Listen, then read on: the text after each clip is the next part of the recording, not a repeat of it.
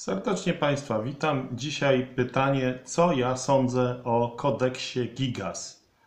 Y, Kodeks ten y, wzbudza pewne kontrowersje ze względu na to, że towarzyszy mu pewna legenda, y, która mówi, że autor tego dzieła miał zadane to jako pokutę, żeby przygotować ten dokument i ten dokument y, miał być napisany w jedną noc przez niego, inaczej y, spotkałaby go kara. Jest to oczywiście bajka, legenda, ale ta legenda y, jest co do zasady powtarzana przy okazji tego i wzbudza sensację. I osobnik ten, który miał przygotować tą największą tutaj kolekcję pism, obiecał, że to zrobi w jeden dzień, w jedną noc i okolicach północy zauważył, że y, nie zdąży. No i bajka y, w tym momencie się zaczyna rozkręcać, dlatego że y, wiadomo, że no, to prawda, w jedną noc nie zdąży się napisać. I co za tym idzie, legenda mówi, że ten człowiek wezwał na pomoc diabła. I diabeł rzekomo napisał za niego to całe dzieło, i y, z wdzięczności pojawił się wizerunek diabła. Oczywiście jest to kompletna nieprawda, kompletna ściema. Y, troszkę później o tym powiem, dlaczego tak uważam. Więc co do zasady, kodeks Gigas w swojej zawartości jest to po prostu y, zbiór, który zawierał najważniejsze pisma z tamtego okresu znane w tej okolicy, gdzie powstał. Zawiera m.in. Biblię Starego i Nowego Testamentu i to y, taką, y, która jest dokładnie taka sama jak wszystkie pozostałe rękopisy Biblii, które mamy, które istniały w tamtym czasie, około 60 tysięcy identycznych manuskryptów, 60 tysięcy ręcznie napisanych zbiorów pism Nowego i Starego Testamentu, które są identyczne co do swojego brzmienia. Żaden inny dokument starożytny nie ma tylu potwierdzeń. Y, Odyseja jest uważana za autentyczną na podstawie kilku y, istniejących niepełnych rękopisów.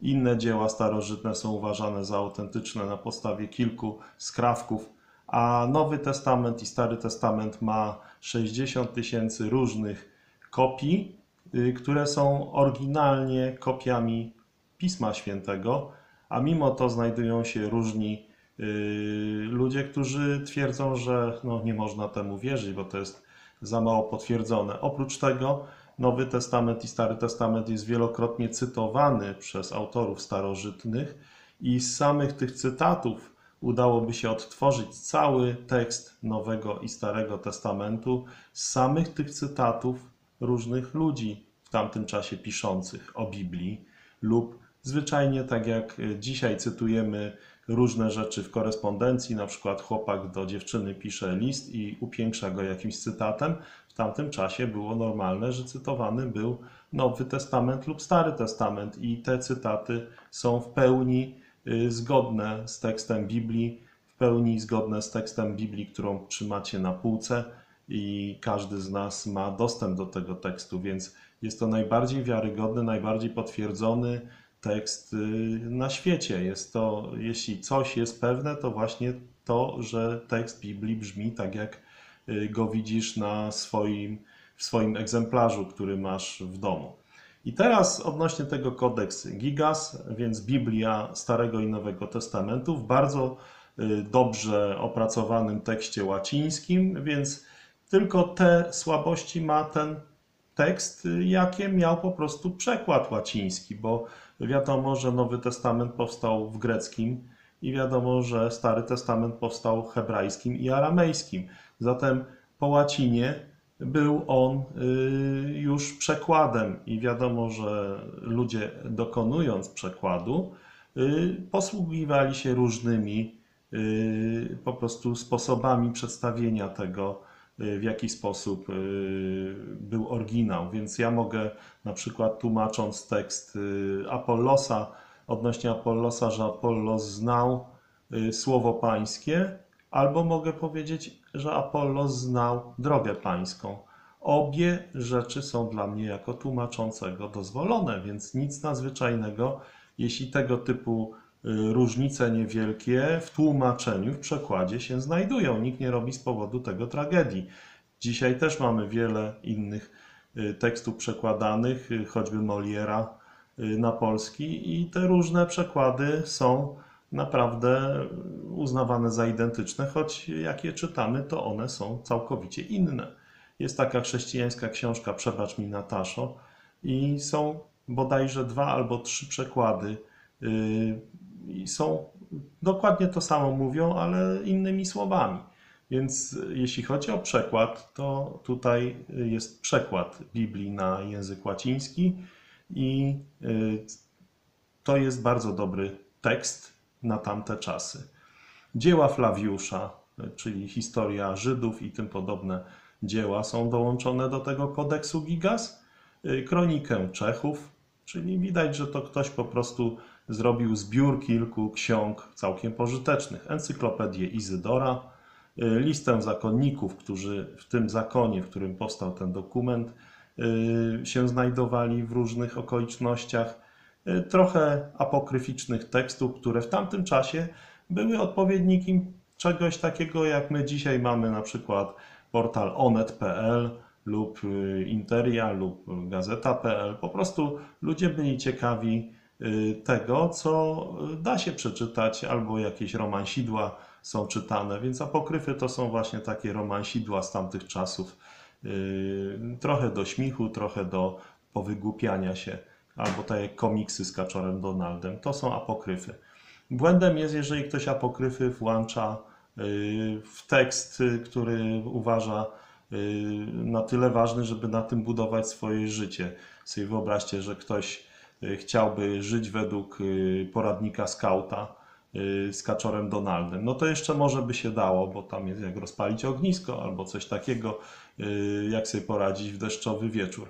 Ale inne komiksy Kaczora Donald, o Kaczorze Donaldzie, te giganty, Y, no to zawierają w sobie dużo elementów y, absurdalnych i nie da się według tego żyć. Ale niektórzy y, próbują apokryfy włączyć na równi z Pismem Świętym i traktować jako podstawę. Tego się nie da. I akurat powstał ten kodeks Gigas w tych warunkach, kiedy po prostu tekst pisma był obowiązkowy. Oprócz tego dodano tam inne dzieła, które w tamtym czasie uważano za wartościowe. Powstał w Czechach, Y, ukradli go Szwedzi w czasie wojny 30-letniej. Y, teraz jest w Sztokholmie, czasami wypożyczany jest y, do innych lokalizacji. Dlaczego nazywany jest kodeksem diabelskim? Jest w nim taki rysunek, może udolny, może nieudolny, człowieka z rogami.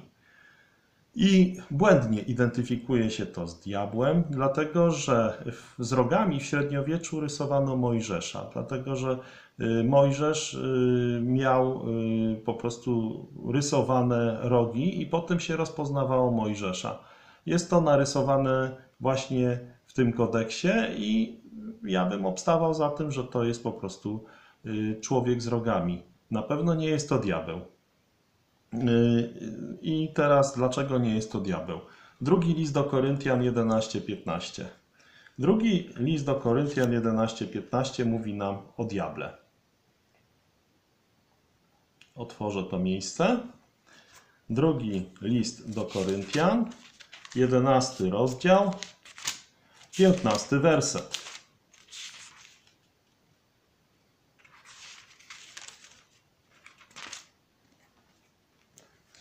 I co my tu mamy?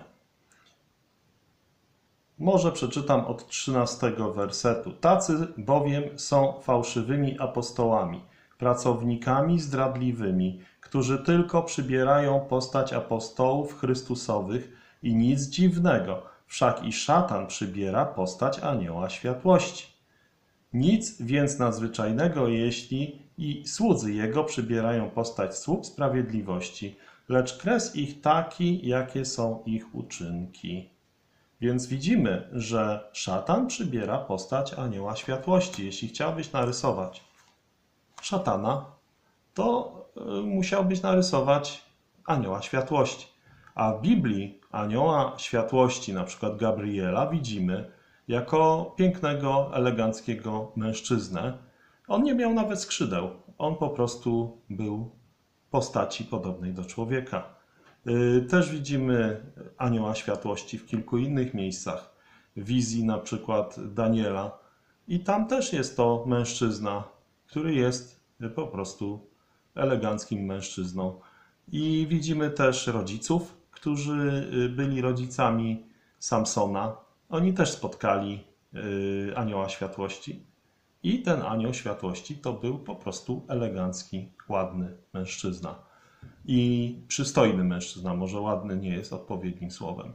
I na pewno nie miał żadnych rogów, na pewno nie miał żadnych skrzydeł.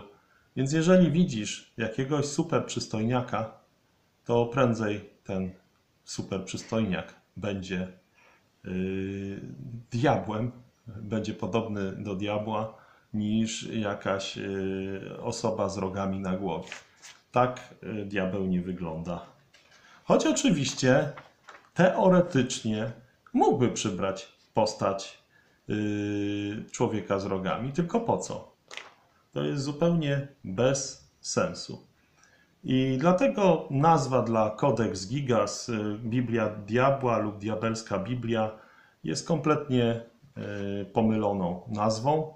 Nie ma to nic wspólnego z diabłem. Być może ta legenda trochę uzasadnia używanie y, tego określenia, natomiast jest to całkowicie niewłaściwe. Jeśli ta historia byłaby prawdziwa, że diabeł się temu człowiekowi objawił i ten diabeł spisał dla niego ten kodeks, to na okładce byłby śliczny, elegancki mężczyzna, ubrany w najładniejsze szaty z tamtego okresu. I yy, to można by było uznać yy, za znak rozpoznawczy. Diabeł, co do zasady, jest takim, który się nie objawia ludziom, Tutaj y, drugi Koryntian jednoznacznie przedstawia, że on udaje, przybiera postać anioła światłości. Jeżeli faktycznie by się komuś diabeł ukazał, to byłby to przystojniacha. Tak samo jak fałszywi nauczyciele zawsze przybierają postać y, miłych ludzi, którzy y, są podającymi się za sługi sprawiedliwości. Najważniejsze jest to, żebyś sam nie trafił tam, gdzie diabeł będzie. A diabeł będzie w ogniu i siarce, gdzie będzie dręczony dniem i nocą na wieki wieków. I każdy człowiek, który jest y, po prostu nienarodzony na nowo, trafi razem z diabłem do tego miejsca, które jest przygotowane dla diabła i jego aniołów, nie dla ludzi. Ludzie nie muszą iść do piekła. Ludzie mają przez Boga przygotowaną drogę ratunku, przez ofiarę Pana Jezusa Chrystusa. Wystarczy, że uwierzysz Pana Jezusa Chrystusa, a będziesz zbawiony. I to zbawienie jest nielimitowane. Każdy, kto przyjdzie do Jezusa, będzie uratowany od należnej mu kary piekła. Przyjdź do Pana Jezusa jeszcze dzisiaj. Niech Wam Bóg błogosławi. Dziękuję za uwagę. Czytajcie Biblię, Słowo Boże. Skrytka pocztowa 31 63 500 Ostrzeszów. Jeśli macie życzenie otrzymać Nowy Testament lub macie jakieś pytania, możecie wysłać do mnie SMS-a lub zadzwonić 739 089 088. Z Bogiem.